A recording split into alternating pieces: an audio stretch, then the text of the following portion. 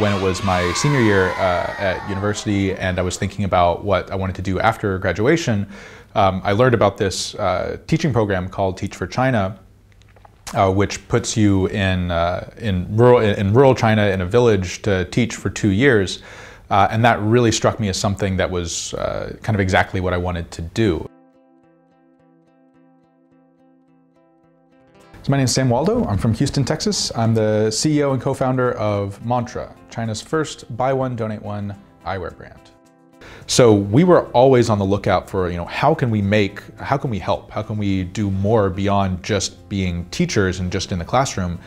Early in the first semester, we started to notice that a lot of our students were squinting in class or they were unable to copy notes from the blackboard. You would look at their notebooks and the information that they had copied down was written in this kind of weird chicken scratch you know, the notes are written on the blackboard and they know that they're supposed to be copying them down, but they can't see. They're just like moving their pen across the notebook.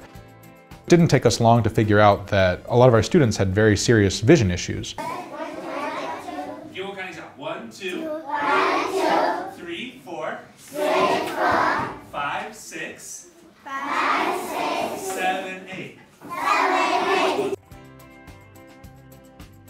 Probably the most important headline statistic is that uh, 30 million students in rural China lack access to um, vision correction that need it. And we saw the opportunity to provide a contribution to our students outside of the classroom, something that would allow us to make a positive impact on their uh, academic careers. We got this idea to do a free glasses project for the kids in our schools.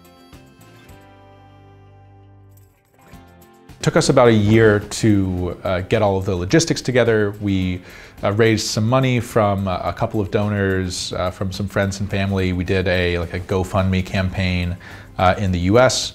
Uh, raised like a few thousand dollars. We spoke with our principals to make sure that they were on board with this idea. Uh, we found a local doctor, a local optician in the nearby town who would agree to drive out to, to these schools. We weren't thinking about doing it like long term or, or necessarily continuing. We just knew that before we left, we wanted to make sure that our students, you know, had, had glasses. The number of potential, you know, uh, scientists and teachers and just contributors to society that are losing their access to uh, proper education and, and really being kept in a cycle of poverty and, and all of this because of something so simple. Almost all of the world's glasses are made in China. It's not a cost barrier, it's not a technological barrier, it's inexpensive, it's accessible, uh, and it has a long-term, lasting, meaningful impact on self-esteem, on ability to participate in class, on just direct learning.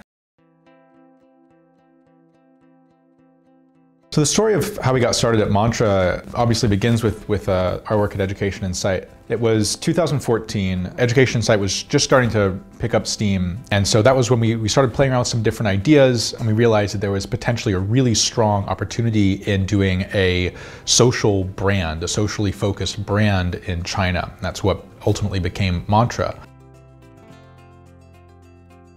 So the idea, we were looking at for us, mantra is a symbol. That's why we put we put this plus one logo on every pair because that's like this little reminder that you carry with you. The plus one represents the donation that uh, that is made on your behalf when you buy this.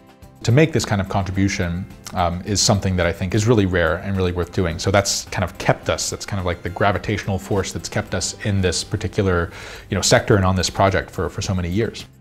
I don't know if I'll live in China forever, but I think if I go away, I'll come back. I think I'll definitely stay, stay involved in China for the rest of my career.